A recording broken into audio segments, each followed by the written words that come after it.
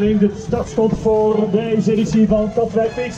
Dat dat we eraan gaan beginnen met de licentiehouders eh, voor eh, dus de wedstrijd. Dus.